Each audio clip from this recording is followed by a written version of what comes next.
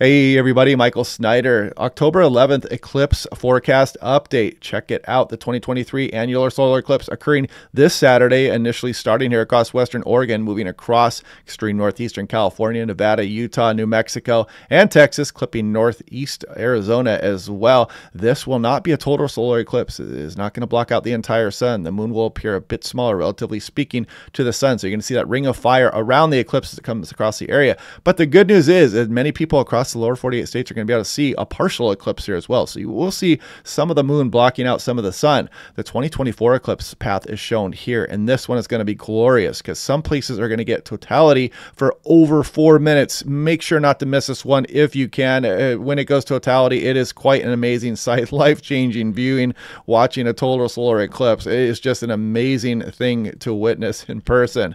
Now, looking at the forecast, GFS total cloud cover, you can see Western Oregon not looking too hot here as we go on the GFS. I mean, Eastern Oregon, a little bit better chances here for seeing that partial eclipse or annular eclipse, across, depending on where you are. Nevada, you start to get a bit better. Utah, Arizona, there's still some clouds across some of Texas and New Mexico here as well. And Seattle, will we see it? Uh, it's kind of an interesting thing here because you can see a little bit of a break right before the eclipse there. So maybe you'll get some partial eclipse viewing here across some portions of Western. Washington there. And again, we'll break this down day by day to kind of see how this forecast trends there.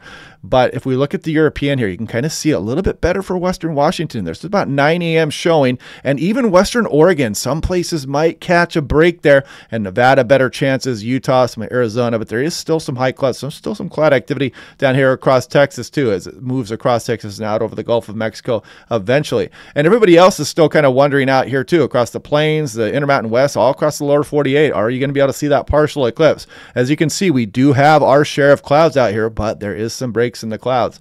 Now, this is looking at Seattle. This is what is actually going to be viewed. You can see this starts at about 8:07 a.m. Pacific Daylight Time, and it'll block out a lot of the sun, as you can see, by about 9:19 Pacific Daylight Time that partial eclipse ends at about 10:40 a.m.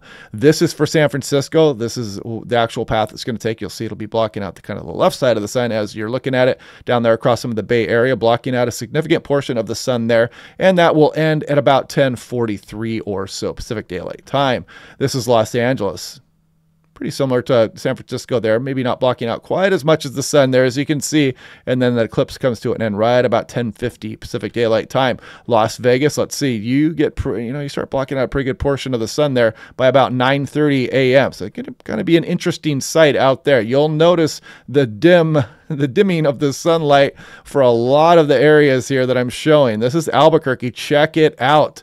That is a purely annular eclipse, but you notice there is still going to be the ring of the visible sun around it. So you're still going to need those uh, solar eclipse sunglasses on. Do not be looking at that ring of fire there without protection on your eyes. And then you can see that move off, and the partial eclipse finally ends at about uh, just after noon there as you go on in through mountain daylight time there for Albuquerque, New Mexico. San Antonio, Texas, check it out. You are going to block off as much as you possibly can here with this moon. And again, you're going to have that ring of fire around it. You will not get totality with this eclipse, no matter where you are. And that will be ending at about 1.30 Central Daylight Time. This is Dallas. Check it out. It does not block it off fully there either. And you can kind of see a partial eclipse blocking over 80% of it.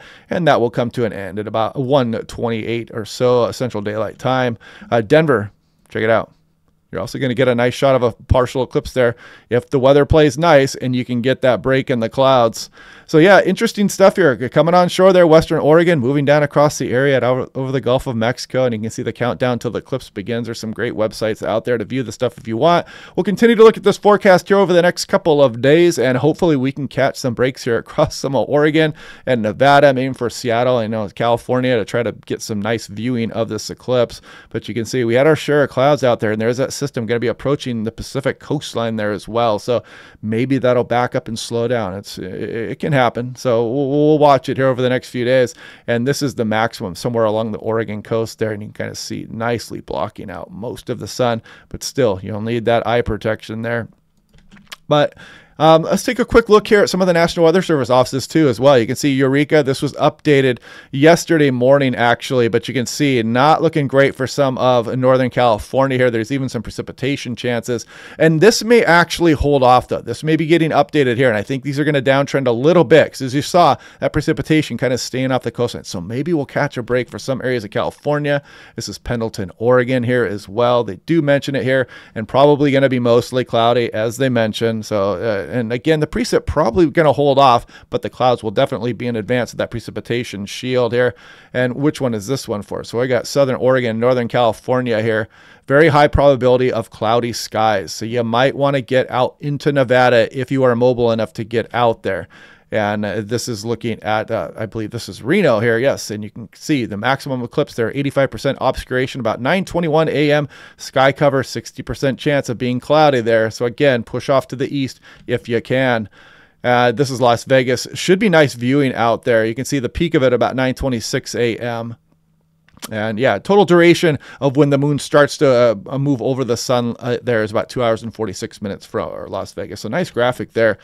And anyway, yeah, I hope you guys are liking these updates here. Um, I'll continue to do this for the next couple days. We'll kind of watch this stuff and hopefully maybe the system will back up and we'll get a break in the clouds here across a lot of the western USA. So we'll continue to look at this day by day. Check out my other videos and I'll talk to you tomorrow in my regular briefings.